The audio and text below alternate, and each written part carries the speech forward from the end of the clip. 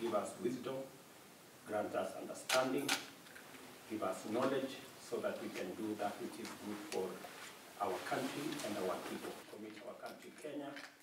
We commit the people of Kenya to your good hands.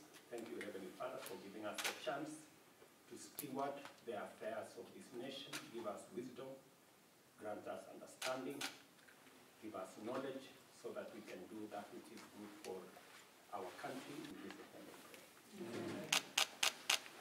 Thank you very much. Uh, karibuni sana.